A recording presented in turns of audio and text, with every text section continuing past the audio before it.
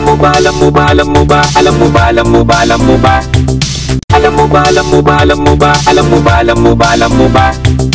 Alam mo ba, alam mo ba, alam mo ba, alam mo ba, alam mo ba, alam mo ba? Alam mo ba,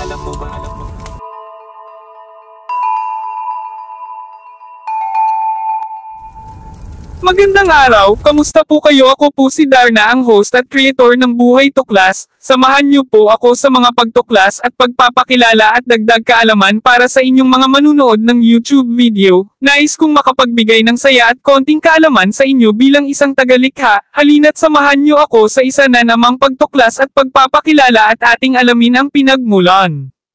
Si Jose Sixto, Dingdong, Gonzales Dantes III, Ipinanganak noong ikalawa ng Agosto taong 1980 ay isang Pilipinong artista, filmmaker, at personalidad sa telebisyon.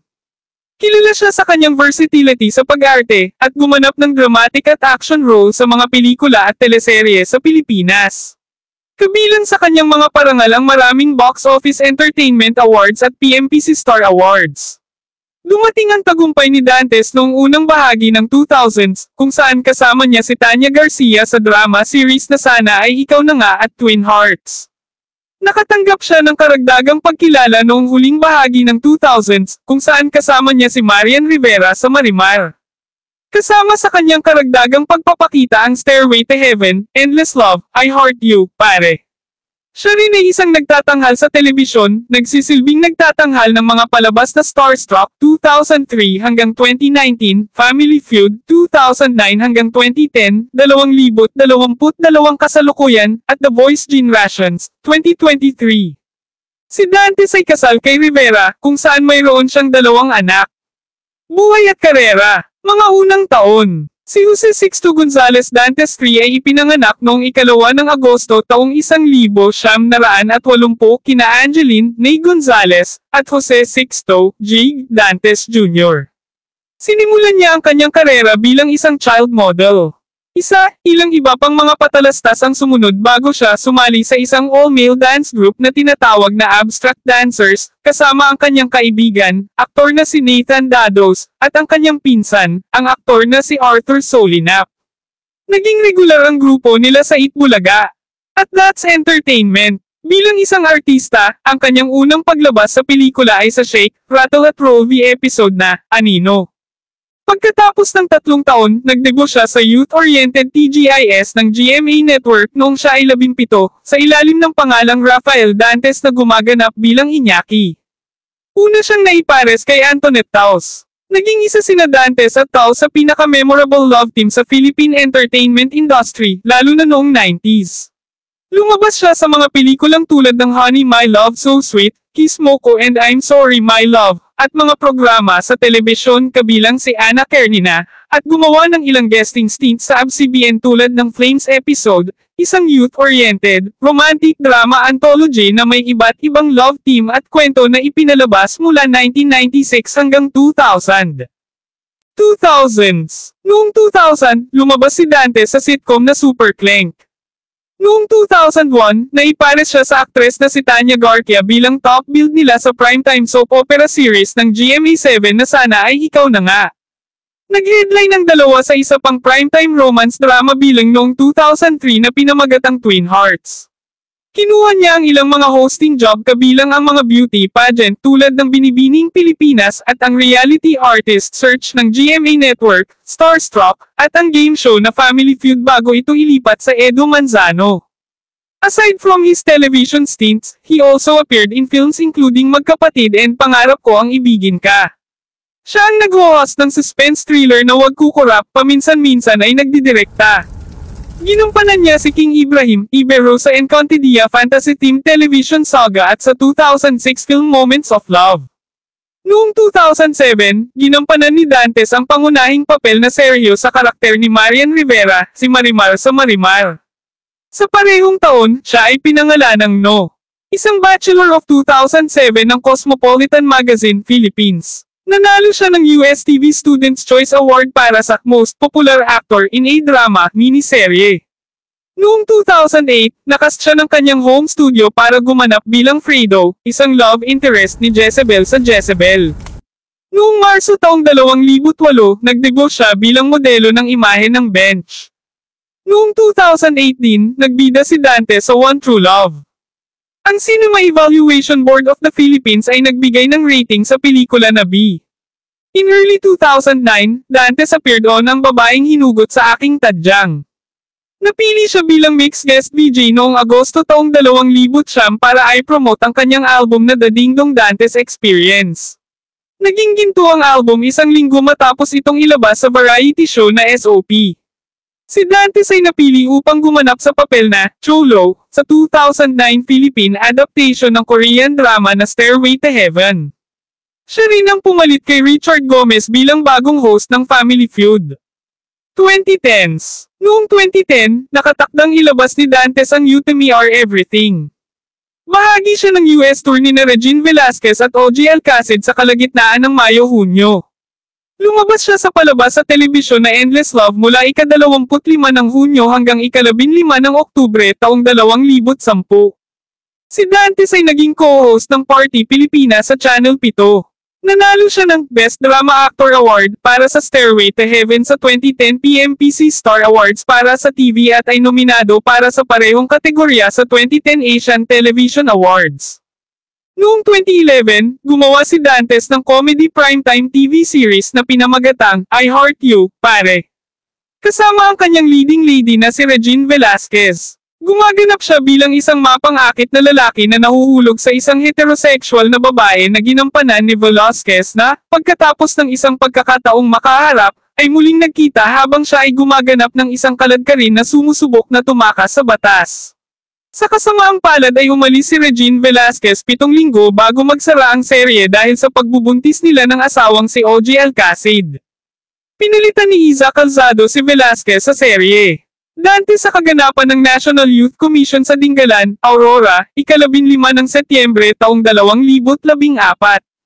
Naging bahagi siya ng Star Cinema suspense film na Segunda Mano kasama sina Chris Aquino at Angelica Panganiban bilang siya ang gumanap sa pangunahing antagonist role, si Ivan. Ito ang naging unang proyekto ni Dante sa karibal na istasyon at archive ng pelikula na Star Cinema, isang dibisyon ng ABS-CBN. First time din niyang makatrabaho ang kapamilya Stars. Sinabi niyang pumirma siya ng one film contract sa Star Cinema para gawin ang pelikula at makatrabaho si Chris Aquino. Gumawa siya ng isang primetime TV series, My Beloved na ipinalabas noong February 13, 2012. Noong June 2012, napili siyang magbida sa isa pang MMFF entry for 2012 sa pelikulang One More Try na pinagbibidahan ng kapamilya actors na sina Angelica Panganiban, Angel Locsin at Zanjo Marudo. Ito ang pangalawang pelikula ni Dante sa karibal na Star Cinema ng ABS-CBN at naging comeback para kay Ruel S. Bayani matapos ang kanyang critically acclaimed successful blockbuster film na No Other Woman na pumatok sa box office noong nakaraang taon. Noong Nobyembre taong 2012, nakatakda si Dante sa isang primetime TV series na pahiram ng sandali kasama sina Lorna Tolentino, Christopher De Leon at Max Collins.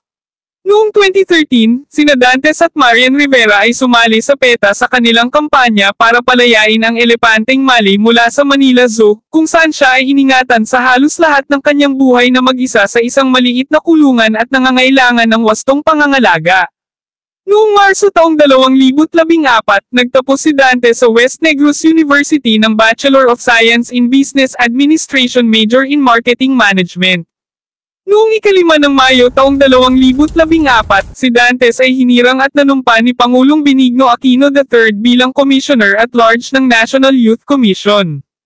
Pagkalipas ng dalawang taon, nagpa siya siyang magbitiw bilang komisyoner ng NYC upang bigyang daan ang kanyang pag-endorso kay Grace Poe bilang Pangulo at Lenny Robredo bilang Vice-Presidente sa Pambansang Halalan noong 2016. Noong Abril taong 2017, bumisita siya sa Calapan, Oriental Mindoro para pasinayaan ang Mindoro State College of Agriculture and Technology, Minscat, Grandstand. Makalipas ang isang araw, naging panauhing tagapagsalita siya sa 43rd Commencement Exercises ng Mindoro State College of Agriculture and Technology Calapan Campus. 2020s Noong 2020, lumabas si Dante sa isang Philippine adaptation ng Descendants of the Sun mula sa South Korean TV series ng kanyang role na Cap. Lucas Manalo, kasama si Jeneline Mercado. Noong 2022, nag-host si Dantes ng game show bilang pangalawang pagkakataon sa GMA Network, Family Feud. Sa season break, lumabas siya sa kanyang drama na Royal Blood at nag-host ng The Voice Generations.